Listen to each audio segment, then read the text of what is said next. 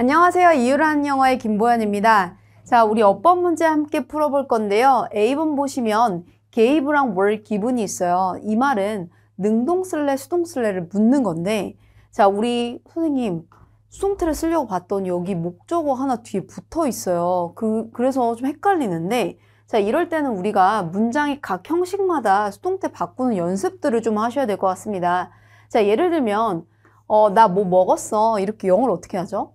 I ate something. 자, 이 문장 같은 경우는, 이 문장 같은 경우는 몇 형식이죠? 얘는 주어, 동사, 목적어니까 삼형식이야. 자, 그러면 이 삼형식 문장을 수동태로 바꿔 보면, 자, 목적어 앞으로 나가기 때문에 something 쓰고, 자, 항상 시수주의, 비동사주의.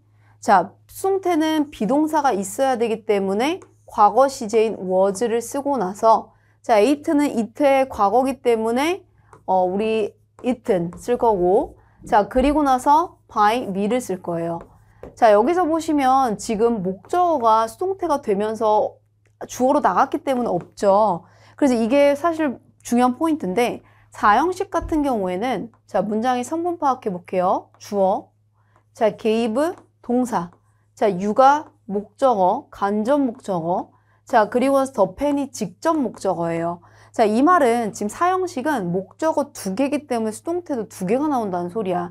근데 이 중에서 선생님이 간접 목적어 in direct object를 앞으로 빼서 수동태로 바꾸면 자, you를 쓰고 자, 요거 수동태로 바꾸면 어떻게 되죠?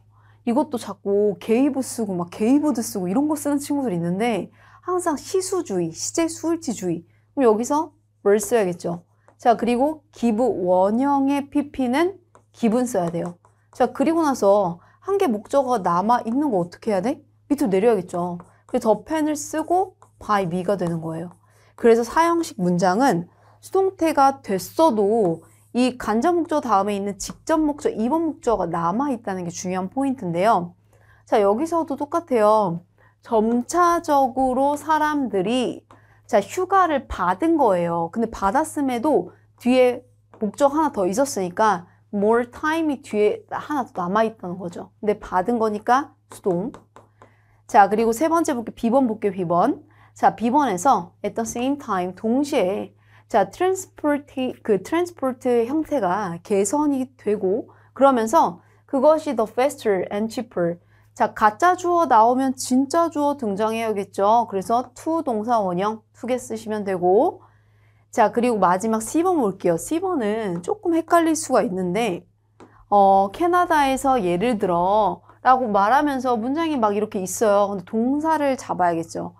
made란 동사가 있는데, 쌤, made인데 왜 갑자기 형용사가 나와요? 왜 그러냐면, 우리가 주어가 너무 길 때 뭐를 쓰죠? 주어가 너무 길어. 그러면 가주어를 쓰잖아요. 목적어 똑같아.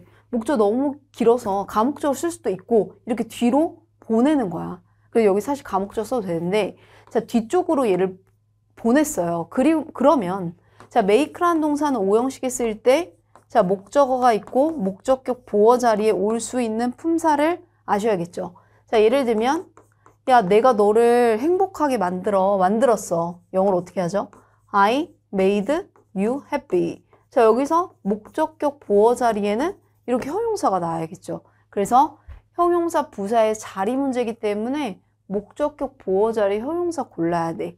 자, 그리고 하나 더 팁 주자면 목적격 보어 자리에는 명사도 올 수 있다는 게 명사, 형용사 올 수 있다는 게 중요한 포인트였습니다.